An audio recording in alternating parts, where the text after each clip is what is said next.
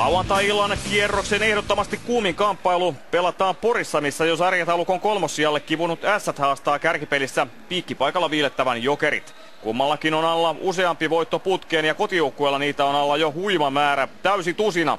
Vieraiden poissaolijoihin lukeutuu muun muassa Markus Nordlund ja Jokeripakin hyllyttänyt SM Liigan johto kerää kollektiivista palautetta kiekkofaneilta Porissa ja muillakin paikkakunnilla. Jokerit on saanut huilata rauhassa täyden viikon ja sulatella IFKta vastaan käytyä kohuottelua, mutta joutuu Isonmäen illassa kovaan paikkaan. 12 ottelun voittoputkessa porskuttava patapakka hyökkii väkevästi päälle eikä päästä jokereita helpolla omasta päästä ulos.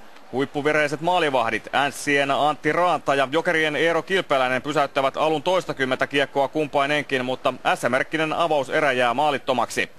Pelin kuva on samankaltainen myös keskimmäisellä kolmanneksella. Hyvin liikkuva S tuhkuu itseluottamusta eikä helsinkiläisten pelin rakentelulle jää tilaa.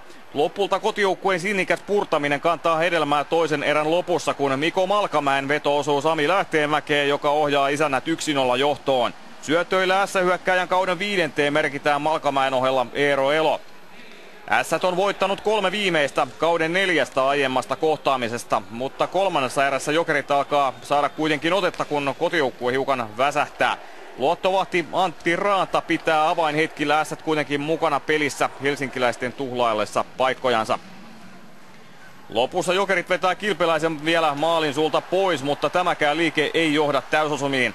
Sille pitkällinen puolustustaistelu tuottaa sen sijaan kotivoiton sillä niukimmalla mahdollisella marginaalilla 1-0 lukemin.